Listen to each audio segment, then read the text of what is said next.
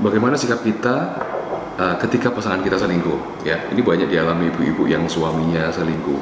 Sebelum anda menyaksikan lebih lanjut video ini silakan subscribe subscribe ya uh, video ini channel YouTube saya dan juga like atau komen di bawah dan juga share sehingga nanti akan ada banyak orang yang dapat manfaat ini. Yuk kita bahas apa yang harus kita lakukan kalau pasangan kita selingkuh.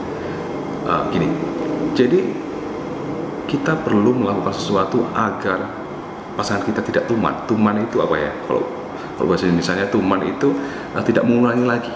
Ya biar dia jerah gitu loh biar dia jerah.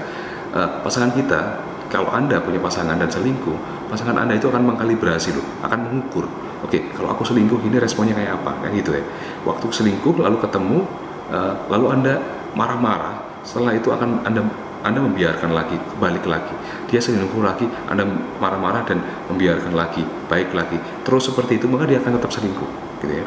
Cara yang benar bagaimana? Cara yang benar adalah anda benar-benar tunjukin kalau anda memang nggak suka kalau anda memang marah kalau anda memang sedih kalau anda memang jengkel dengan perilakunya. Agar dia dia bisa membaca gitu loh. Tidak hanya aku benci sama kamu aku marah sama kamu. Besoknya balik lagi atau hanya ancaman-ancaman saja. Setelah itu balik lagi tidak apa tidak ada masalah seperti biasa. Atau bahkan takut kehilangan terlalu takut kehilangan seperti itu. Maka pasangan anda akan tetap selingkuh gitu loh. Karena selingkuh tidak hanya ada kesempatan tapi ada niat gitu loh. Jadi kalau uh, pingin suami anda ya atau istri anda tidak selingkuh maka tunjukkan bahwa Anda tidak main-main dengan ini. Anda tidak main-main dengan nilai ini. Ini adalah nilai inti Anda, tidak bisa diganggu gugat. Gitu. Dari awal memang harus seperti itu. Kalau memang Anda belum menikah ya carilah orang yang uh, apa namanya nggak mungkin selingkuh gitu. Karena selingkuh ini sebenarnya pengulangan. Kalau dulu waktu pacaran dia pernah selingkuh, maka ke depan nanti juga akan pernah selingkuh. akan akan melakukan seperselingkuhan lagi, lagi dan lagi. Jadi perilaku itu sebenarnya berulang loh.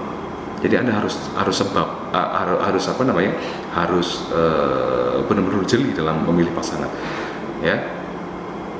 Tapi kalau anda sudah terlanjur menikah dengan orang yang uh, suka berselingkuh, ya, anda tidak boleh mengizinkan dia selingkuh lagi.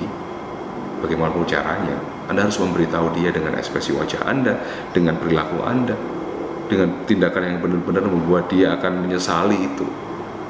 Ya. Anda nggak boleh uh, apa namanya masih ada kata-kata yang nggak konsisten di situ akhirnya mengizinkan dia untuk selingkuh lagi. Ya. Kalau anda mengatakan bahwa anda tidak suka tunjukkan benar-benar serius anda tidak suka.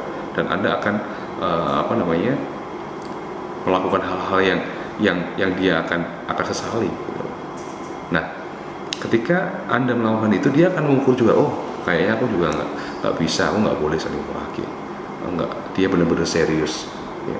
banyak orang yang yang yang sedemikian takut kehilangan sedemikian uh, apa namanya uh, takut mendapat dampak dari suaminya takut takut dimarahin dan sebagainya. Akhirnya dia uh, membiarkan suaminya seperti itu.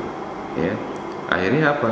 Kadang-kadang suami yang nggak tahu diri ya akhirnya ya semakin berselingkuh gitu. Jadi ketegasan di sini penting. Ketegasan dan ngomong ngomong sama yang bersangkutan bahwa anda tidak bisa di, dibegitukan. Anda tidak suka itu. Dan ada konsekuensi untuk suami. Saya nggak tahu itu apa tapi yang jelas anda yang tahu. Jadi cara mudahnya untuk menghadapi uh, pasangan anda selingkuh suami anda selingkuh istri anda selingkuh adalah konsisten dengan kata-kata Anda bahwa Anda tidak mau diselingkuhi. Dan juga jangan Anda jangan selingkuh juga gitu loh.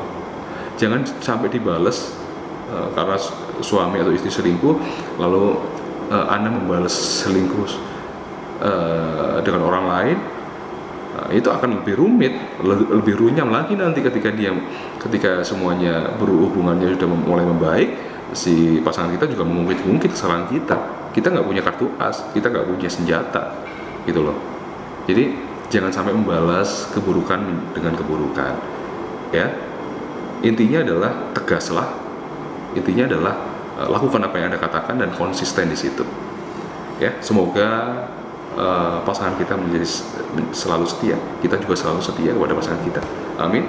Semoga rumah tangga kita menjadi lebih baik lagi dan semakin baik agar anak kita juga menjadi baik tumbuh kembangnya salam sayang saya untuk keluarga.